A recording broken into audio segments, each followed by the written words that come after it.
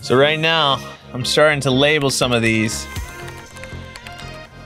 and kind of saying where they should go next. So some of these are gonna get sold. Some of these like this are kind of become a parts cabinet slash nearly complete um, game. And so it's, it's kind of sad because if, if I remember correctly, I mean, obviously the controls are missing right now, but I believe we have the controls somewhere, but a lot of those gears have been taken. So that might be all that's keeping it back, but um, we're gonna test it and see. But it's probably still gonna just go to deep storage. All of our locations right now have a stand-up fixed gun shooter, either Terminator 2 or RevX or both.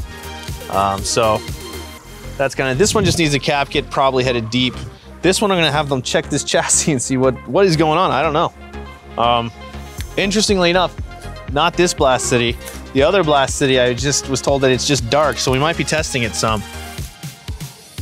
So it's a 27 inch tri-sync monitor. Probably weighs, I don't know, 100 plus pounds.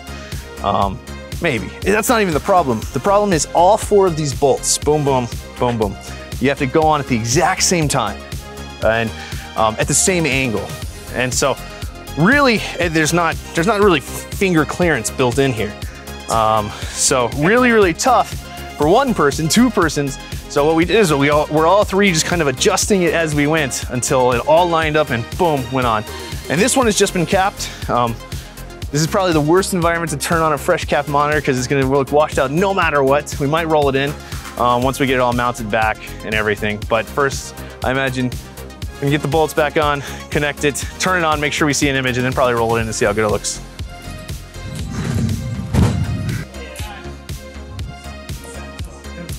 Okay, monitor the on. Yeah, it's on. No, it's you can see it. It's just dim. So we can try to adjust it, give it time to warm up. All right, guys, this Blast City, we're hoping to resurrect. Um, they just capped the entire board. It's something like 50, 60 caps replaced.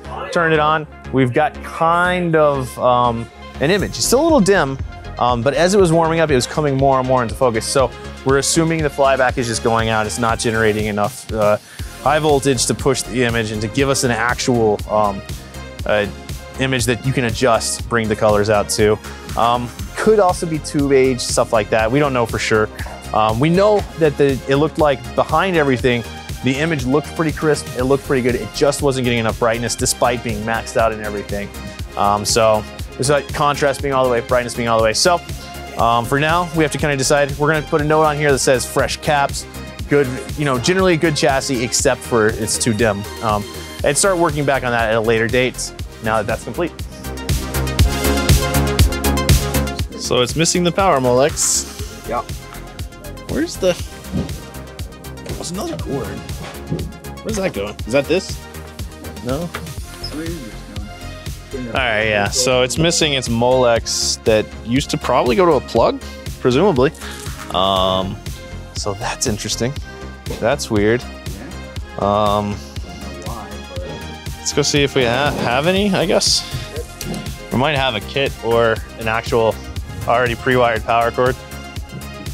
Here's a story a man named Brady.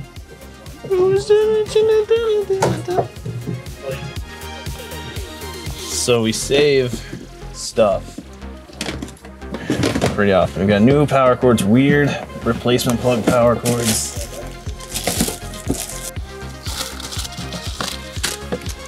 What I wonder is if it was long enough to just do a plug kit on it. How long was it? So I guess it'd be a little short.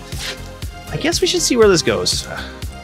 Is this just going up here? What the hell is that? Is this just all like hacked up? Yeah, so interesting thing about opening these up, YouTube. Um, we're coming in here blind. There's a bunch of extra power cables here, but it looks like we might be able to, and it looks like there's been a replacement power supply installed at some point. Looks like we got a bottom transformer, but yeah, let's just grab a, a standard power cord and try it right there. Um, and yeah, for any of y'all watching on YouTube, there's this weird power cord, full AC power cord running up, which looks like it's going up to the marquee, and maybe it's some weird operator hack to get the marquee working. Well, check that next. But first, we're just trying to turn this thing on, see if it works, see if uh, it is what we thought it was. Nothing yet. There's a switch. There's probably two switches, or at least two switch holes. Yeah, here we go. Well, that made a sound. All right, and you can see kind of how even, you know, having done this for a long time, you can get kind of sidetracked um, by these weird, weird things. So I bet what's gonna happen, see it's testing the steering wheel, but I bet what's gonna happen is we take this off and the old operator has installed like a lamp or something up there to try to work. But it's hard to see with so much light, but we've got monitor on, it's calibrating the steering wheel, looks pretty good, hopefully. It says press gas to calibrate. Press radio to skip tests. We'll go ahead and skip test for now. Uh oh, maybe. Press gas. See if it just needs on both. Yeah, there we go. It says link disabled, some version. Initializing network, no network. Hey! So again, YouTube, we're outside and it is sunny as anything. So it's impossible to see exactly how good that monitor or how bad it is. But now, you're gonna try to drive it, check the the shifting and everything as best you can and see what the issues are so you can get some notes. Because yeah, as you can see that monitor's coming in, I bet if we were in a dark room, it'd be pretty good. This is an Atari Fire Truck. Super, super cool, super rare game. Um, and, and, one of the coolest kind of bar games in the early kind of era of the arcades because it was two players. Because you know, on like a real fire truck or a big long fire truck, the full size, there's a rear steering, right? That actually controls those back wheels and moves it around. So this was actually, and it's pulled out right now, but this is the rear steering wheel um, that controls the back of the fire truck, and this is the front. Um, and we just tested it, they got it up. Uh, we're still having a little bit of a sound issue, but it's really, really fun because you work together to navigate through the town, right, and save people. Uh, just a genius game, black and white, very, very simple, um, but really one of the all-time greats, and we wanted to get it out. Um, but to be honest, most of these black and whites have not performed well. They're not necessarily high usage games, and when we try to set them up to free play, we have to go through all sorts of stuff that often involves installing like a, a credit button, and there's no good spot for a credit button without hacking. What this is, uh, this is a true museum piece. Um, so uh, probably won't make it to free play. Try to get the sound going and maybe uh, maybe potentially figure out a good place, a, a better home for it. Um, so that's what they're working on right now. Really old tech, really, really cool. All right, guys, they've been working on California Speed, throttle issue, shifter issue. Uh, ultimately minor stuff, but still a pain to deal with. So uh, I know they've been working on it. It'd be really nice if we could get be able to write the word good on this one, put it in the warehouse, and you know roll it out for Dallas uh, later, or maybe even like an Arlington Link Racer. All right, YouTube. So I've listed three games so far um, on the internet. I'm trying to do fast sales today because we've got a whole parking lot filled with arcade games. Um, so far, I've listed the Blitz 99, sold, gone. I think I got 250 for it. Monitor chassis missing.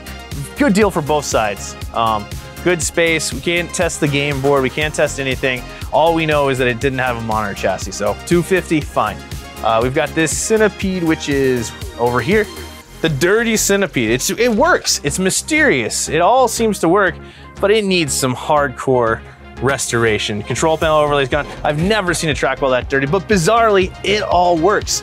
Uh, haven't had a hit on that, but I've got people, and the worst thing about listing games on the internet is people see things like a Crystal Castle's reflection in your glass, and you'll get 30 messages saying, I don't care about what you listed, how much for the Crystal Castles? And, you know, no one ever seems to care um, about that. So yeah, here is Steve responding to a Blitz 99 Centipede Tomahawk 777 listing. Is that Crystal Castle in the reflection and is that for sale?